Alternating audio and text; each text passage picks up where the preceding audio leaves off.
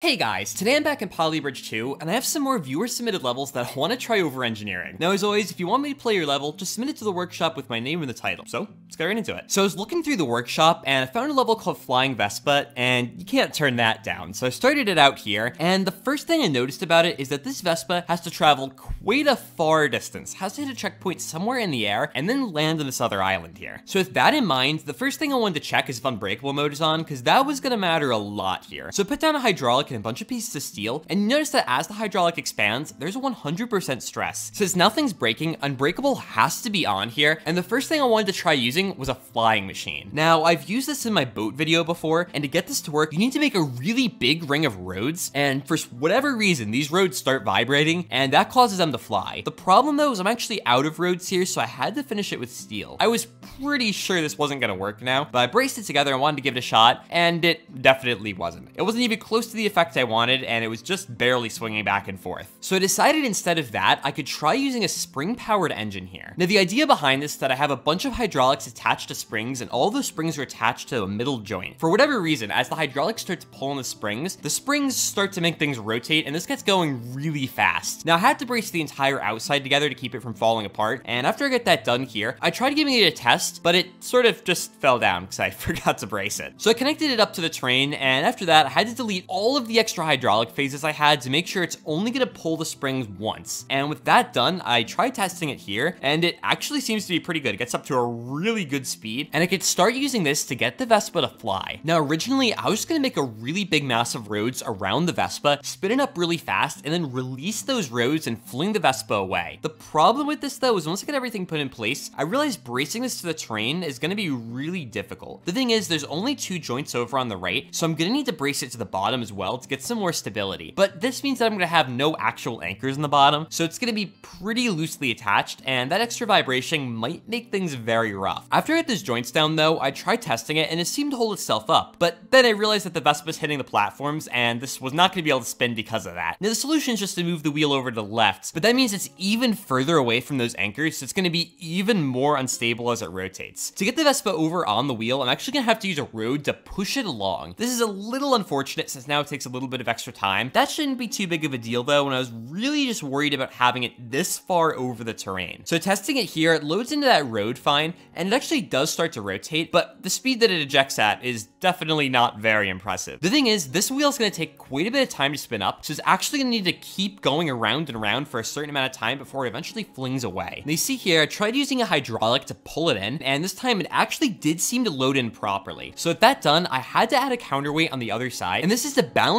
out the weight of the Vespa and those extra roads so that the wheel was somewhat balanced and wanted to rotate. And it didn't seem bad at first, just wobbling back and forth, but it was building up speed as it did that, and eventually it just barely started to go over and continually rotate. Now, it wasn't getting up that fast, and also the structure was vibrating back and forth a lot here, and that was sort of what I was worried about. But at this speed, it's really not gonna get to the other side, so it's gonna need a different solution. So I deleted that loading mechanism here, and also deleted the counterweight on the other side, and I added on some paddles. The plan now is just gonna be to hit the Vespa really hard, and hope that gets it to the other side. It's a little less precise, but I should be able to get up to a lot higher speed, and the wheel has a lot of momentum, so I should be able to just carry the Vespa across. And when it gets up to speed here, you see it's a lot faster than before. Now, I deleted the whole structure I had to hold this together, and that's because I can now bring the wheel in even closer. I'm not gonna have the problem that I had before of it hitting into the platform, so it should be a little bit easier this time. Now, I still had my road mechanism to drop on the Vespa and push it slightly forward, and that's gonna allow it to just barely get in range of the paddles so I can precisely time when it hits it away. The only problem is when I was testing, it just disappeared on its own, and I realized that it actually hit the Vespa way before when it was supposed to. Now, I managed to fling it to the other side and it hit its checkpoints, so that wasn't half bad, and I realized if I put in a ramp in the front, I might be able to get it up a little bit higher and hit its checkpoint. And trying it out now, the wheel was still accidentally hitting the Vespa early, but it didn't really matter because it flinged it really far. The problem though is it actually sailed over the star, and it was a little bit too good. So to fix this problem, I put in a road above the star, and this is to catch the Vespa and make sure I can guide it down into the star. And since Unbreakable mode is on and a bunch of these extra anchors are in the air, I could just use these to hold up the road. And the Vespa hit into it fine, it just barely hit the checkpoint, but that done, it deflected it down well enough that it hit into the flag. So with that level done, I wanted to go into this next one here, and my name wasn't in the title, but someone said this to me on Discord, and they specifically said they didn't think it was possible for anyone to do this without an elegant solution. So my goal was to under-engineer this level and figure out if there's a way to do it kind of messily. So I started out here and I tried making a ramp on the left side. Now I put down a bunch of roads to do this and originally I just was gonna use a bunch of steel to hold it all together. This was gonna cost a lot of money, but I figured I could just shave off the budget later. So trying to make this work was a little bit tricky at first as there's very limited attachment points, but I realized the car is a lot stronger than I originally thought. So I ended up bracing the car on the bottom just to make sure that it wouldn't move in the meantime. And once I did that, I actually deleted pretty much a lot of the roadway and I started off by making a really simple ramp. The less amount of roads I could have, the cheaper this will be. So keeping it really simple was kind of my goal here. Now I managed to have the car just barely getting that roadway on top, so that was not bad. And with that done, I just started shaving off a bunch of money with the steel. So deleting a few extra steel pieces worked reasonably well here, and I ended up putting in some wood pieces as well. This got me under budget, but I still need enough budget to make the right side of the bridge, so now is when I started just going crazy with the wood. I wanted basically no steel on this at all, since steel is really expensive, and I didn't see too much stress, so there's really no reason the wood shouldn't be able to hold it up. After replacing every piece with wood, I tried giving it a test here, and nothing seemed to break, and the car made it up to the top. Now, I finished the level doing a wheelie, but it worked, so I guess I'll take it, and I'll start working on the right side of the bridge now. Now, I have more than half the budget to do this, and that's good, because I'm definitely gonna need it. So starting out, I'm again using a bunch of steel, and I'm just gonna shave it down later. The thing about steel is that it's also able to be much longer than the wood, which is a lot more convenient. And after I built up that roadway on the bottom, I started working on the top here, and the reason for this is I knew I was gonna need some sort of catch to pull the car in towards the flag. I didn't know how much speed it was gonna have, but I figured it'd be a pretty good amount, and if I could just hit this roadway a little bit, it might be able to deflect all the way over there. The thing is though, there's no attachment point to the top, so in order to get it to stay up, I'm gonna have to get a little creative. Now originally I just tried to put this down and had it dangling over the edge, and it sort of worked, but I also noticed the car was a lot weaker than I thought it was gonna be. So I braced this up and got it to stay up in place, but the problem now is the car is definitely not making it up to the flag, so the new goal is to get it to go all the way to the terrain. This was easy enough to accomplish, and you can see here it's actually landing on that top area, but I still need to get it to the flag. So to get this to happen, I put down some more roads in the bottom, and I was just gonna use these as a second ramp to get it to fling itself up there. So after some moderate redesign here, I got it to go all the way up to the top, hit that catching road, and once it did that, got on that ramp, and that was enough to get it to hit the flag. But we still aren't close to beating level yet, because I am way over budget. So to start out, I worked on this top piece and replaced a ton of stuff with wood. I wanted to start with this, because I figured pretty much nothing was gonna need to be steel. So I got the car all the way up to the top, and once it hit the roadway, nothing seemed to break, and still hit that flag. But I'm still over 50% over budget, so now I gotta work on this bottom part. Now some parts were really easy to shave money from, because they weren't that stressed out, and also a wood piece was able to reach all the way across them, but other things were a little more annoying, and I had to use multiple wood pieces. Now the biggest save I could find was actually in the middle of the bridge. I replaced the steel with a bunch of ropes, and that was a lot cheaper. Once I did that, I worked on the bottom here as well, and this part, just like everything else, I got rid of all the steel and was just putting in wood. Now, one of the really big saves I found was that I actually could delete a bunch of the extra ropes in the middle, and I realized I could use no ropes and still have this work. It's definitely weak, but it only needs to be strong enough for one use, so it should be good enough. Now, I still was 4% over budget, and to get that done, I just weakened the left side of the bridge a little bit. Now, this works pretty much exactly as before. The only thing that changed was the budget. So, the car on the right side getting across, the one on the left side still does its wheelie, hits its flag, and that's a level completion. Now, this next level makes the first two seem really easy. You can notice here, I have a lot of cars that need to get to different destinations, and they all basically need to get to the other side. The limos at the top shouldn't be too bad, but all the others are gonna be very difficult. So with that, let's try it out. Now, I started out here by using some steel top, and I wanted to create an attachment point in the very middle of the level. This would allow me to pivot around it, or at the very least, brace my bridge to that middle joint. Now, that done, my first plan was to make some sort of rotator to grab on each of the cars and just rotate it over to the other side. This seemed pretty over-engineered and also didn't seem that difficult, so I figured I might as well give it a shot now. And once I had all the steel in place, I tried putting in a road here. This was where I ran into problems though, because I realized the road is also going to rotate with this, which maybe will be fine, but it's probably not going to be great. So if we put a hydraulic on this, I tried expanding it out. Everything immediately broke, and I realized I'm going to need some sort of 180 degree mechanism, and everything is going to combine to make this very difficult and probably way more work than it's worth. Also, I thought I found a better idea here. This one is going to be a staircase design. The plan was going to be to have a mechanism move each of these roads up and down and have the cars slowly move up them like a staircase. Now, the taxi was able to get over the road, which is actually really good here, so I tried making the roads as small as I possibly could, and after that, I wanted to see if I could even get the buggy all the way up to the top. But the thing was, it was not steep enough to do that, and it was probably not gonna work. The other thing is the sports car was probably not gonna be able to get over this anyway. So after that, I realized I was probably gonna need to do something near the original solution. But I had an idea of how to spice it up. And the intended solution here is to have some sort of tilting roadway that keeps meeting up with each of the cars and allowing them to get to their flag. Now I moved the steel truss over because I figured I might need it later, but for now, I just wanted to build up something even simpler here. And after that, I put in a roadway on the bottom. This was gonna be the start of the main roadway that moves around. So after I got that in place, just needed a way to brace it together. So I decided to support the very end road pieces, and I was just gonna rotate the innermost seven. This should reduce the load on the bridge and make things as simple as I probably can get them. So I built up a couple of extra roads on the left and the right side, and that's for the truck. After I did that, I put in a hydraulic, and this is gonna pull down the bridge and allow it to meet up with those roads. Now, of course, I still have no way to meet up with the buggy or the sports car yet though, so it just rotates back in place, and then the buggy just goes in the water. Now, it might seem weird, but I decided to delete everything here. And the reason for that was actually just to move the attachment point from the very bottom to the top, but since things were getting a little messy, and also I didn't really do a good job when designing it, I just wanted to start fresh and do a little bit more of a low profile design. But after not too long, I got this right back to where I was before, and now it's gonna be a little bit easier for me to get this working for the buggy. Now you'll notice I'm actually putting in some roadways at the top, and this is where I want the roadway to end up. And the plan now is to make the roads on the left go all the way over to the right. And to start doing that, I put in some attachment points now, and the original plan was actually gonna be to flip over the roadway as well, I thought that might look cool. Now after getting a second guiding arm for the other end of that roadway, I put in a hydraulic to move it, but that didn't really work out too well. It just sort of instantly broke, and that was not great. But I realized I could still just move it over normally, and that would actually work a lot better. The other thing is that minimizes stress quite a bit, so once I added a bunch of these, it shouldn't just instantly destroy itself. And now that done, you can see taxi gets across, I have the truck get across as well, and now the two roads to the side switch places, and that's close to what I want, but I still need the roadways in the middle to end up where they're supposed to. So to get those moving, I wanted to use a couple more guiding arms for this, but I ran into a small problem. The thing is, I need to detach the left bridge segment, the right bridge segment, and the whole chassis of the bridge all at once. And in order to do that, I need to use a three-way split joint. So that's exactly what I put in here. I make the chassis of the bridge number three, and what that's attached to, the main steel frame and the hydraulic that pulls the bridge up and down so that I can differentiate between the taxi and the truck. And at least at first, things seem to be moving somewhat in the way that I wanted. So I used another hydraulic here to hold it all together, and with that done, you can see I have that roadway almost all the way at the top, but it ended up breaking. So I moved around some of its attachment points here to make it a little bit stronger, and with that, I added in one more pair of arms for the very last segment. Now with everything moving, it actually looks pretty good, but some things weren't